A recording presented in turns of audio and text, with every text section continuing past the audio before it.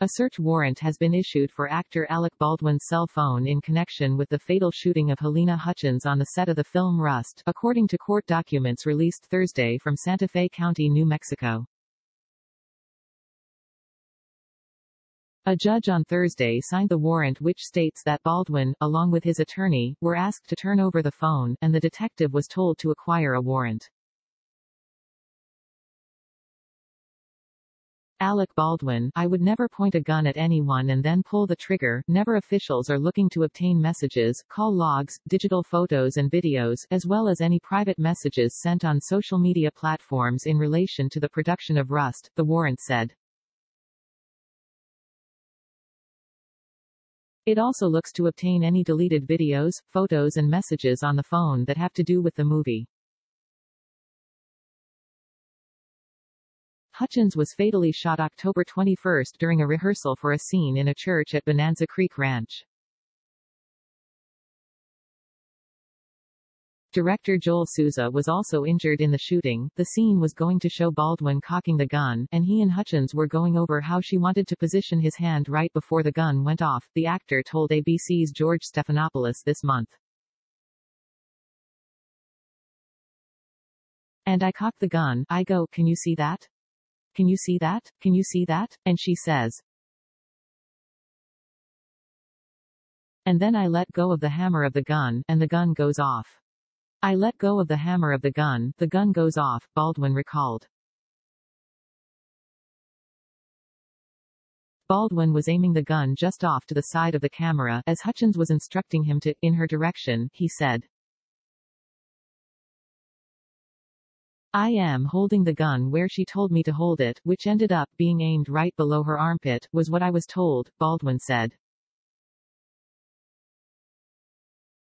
When asked why he pointed the gun at Hutchins and pulled the trigger when that wasn't in the script, Baldwin said, I would never point a gun at anyone and then pull the trigger.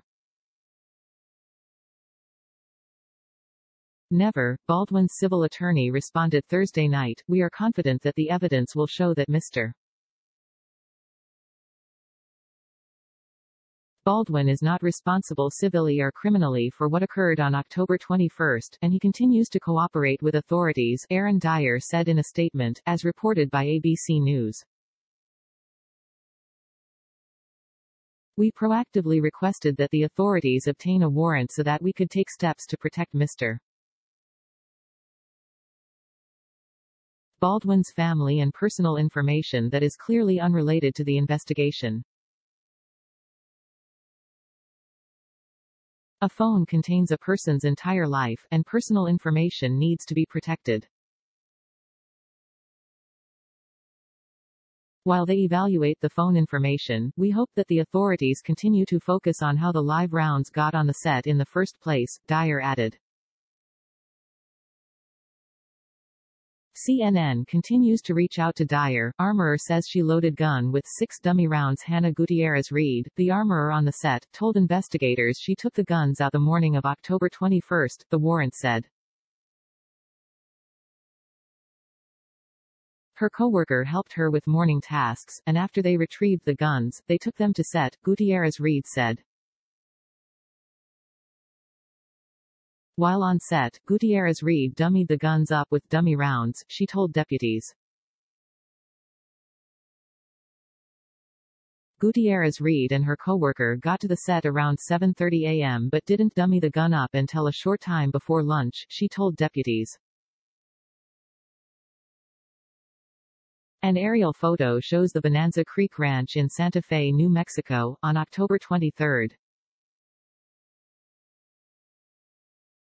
Gutierrez Reed loaded the gun with five dummy rounds before lunch, she said.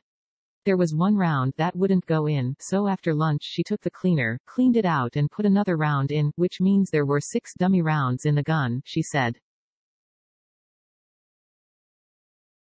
We had the gun the whole time before that, and nothing happened, and I wasn't in there, and they weren't even supposed to be pulling the hammer back, Gutierrez Reed said, according to the warrant.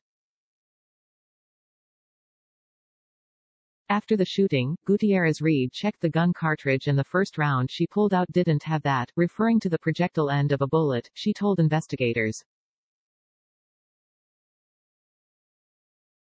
She checked the other rounds and they were all dummies, the warrant said.